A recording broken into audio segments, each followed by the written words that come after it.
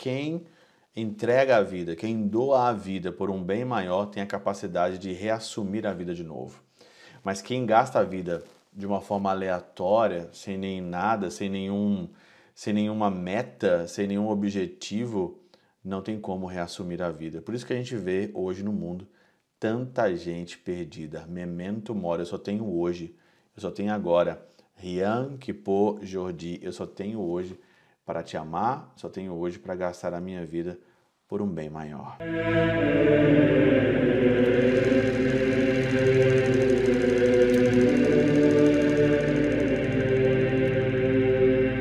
Pai, do Filho e do Espírito Santo. Amém. Olá, meus queridos amigos, meus queridos irmãos. Nos encontramos mais uma vez aqui no nosso Teose. Viva de Coriés, o Cor Maria.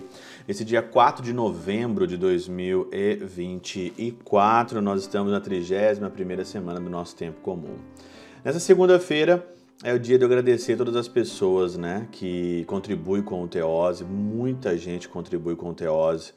Muita gente ajuda. A gente sempre precisa mais, sempre é a conta, sempre é ali é, bonitinho, né? Sempre dá certinho é, todo mês e a gente sempre necessita de vocês para a gente continuar o nosso trabalho. É por isso então que sempre na segunda-feira eu agradeço mesmo de todo o coração. Se não fosse as pessoas que ajudassem, contribuíssem, fizessem seus as suas contribuições voluntárias, né, aí nos nossos meios que nós temos aí nos nossos vídeos, o Teose não estaria aqui ou estaria talvez só gravando mesmo e jogando aqui o Teose de qualquer maneira como uma gravação, mas a estrutura, é, as pessoas é, gostam de um vídeo bem elaborado, com um som bom, com tudo bom, e é graças aí à equipe que trabalha conosco. Então você que ajuda, muito obrigado e eu continuo aí é, pedindo todos os dias e rezando por você mesmo nas minhas intenções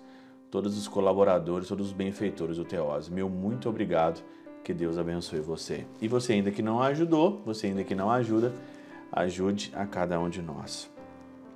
O evangelho de hoje, ele tem tudo a ver com um grande santo hoje, que é São Carlos Borromeu.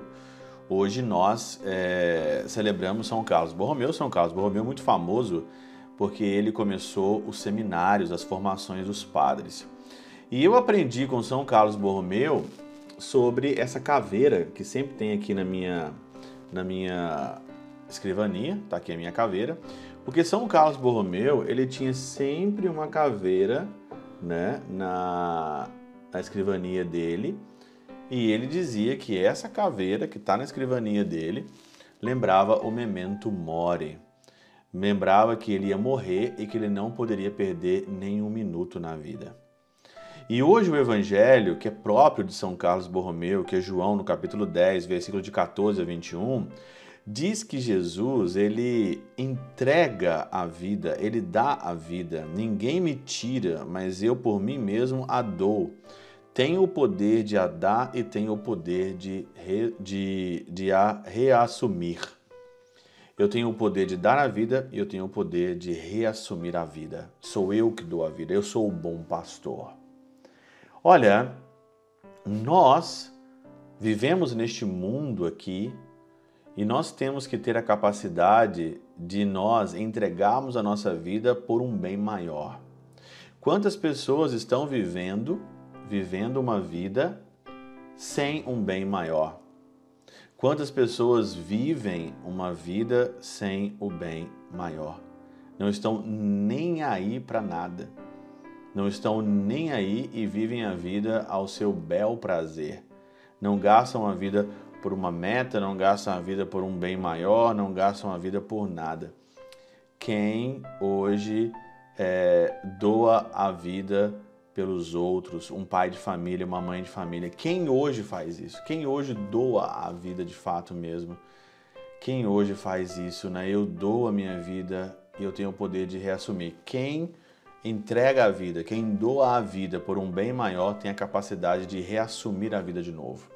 Mas quem gasta a vida de uma forma aleatória, sem nem nada, sem nenhum, sem nenhuma meta, sem nenhum objetivo, não tem como reassumir a vida. Por isso que a gente vê hoje no mundo tanta gente perdida. Memento mori, eu só tenho hoje, eu só tenho agora. Rian Kipo Jordi, eu só tenho hoje para te amar, só tenho hoje para gastar a minha vida por um bem maior. Pela intercessão de São Charbel de Mangluf, São Padre Pio de Peutrautina e Santa Teresinha do Menino Jesus e o Doce Coração de Maria, Deus Todo-Poderoso vos abençoe. O Pai, o Filho e o Espírito Santo dê sobre vós e convosco permaneça para sempre. Amém.